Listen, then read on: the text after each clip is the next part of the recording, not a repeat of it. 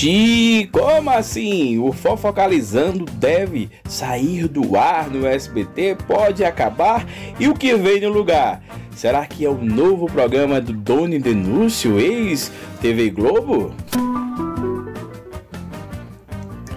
Fala galera, como a gente já publicou aqui, Doni Denúncio, ex-Jornal Hoje, ex-TV Globo, fechou com o SBT. Falta definir qual é o horário. É uma fofoca que poderia ir para o Fofocalizando, mas não sei se vai. Por quê? Porque Silvio Santos não quer colocá-lo no primeiro impacto de manhã com o Dudu Camargo e o Marcão do Povo, não quer colocá-lo no jornal do SBT com Raquel Sherazade e Carlos Nascimento, também onde iria colocar do SBT Repórter, como assim?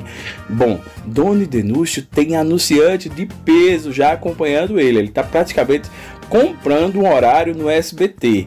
Já o Fofocalizando, apesar de ser um programa legal, muita gente gosta, uma turma legal, a Mamãe Brusquita já saiu, a Mara Maravilha já saiu, a Cris Flores chegou, mas o programa não tem muitos anunciantes e a audiência vai cada vez deixando o SBT em terceiro, quarto lugar, que é onde o SBT não está acostumado. Todo mundo sabe que normalmente a TV brasileira tem a Globo em primeiro e a SBT e a Record disputando a segunda posição.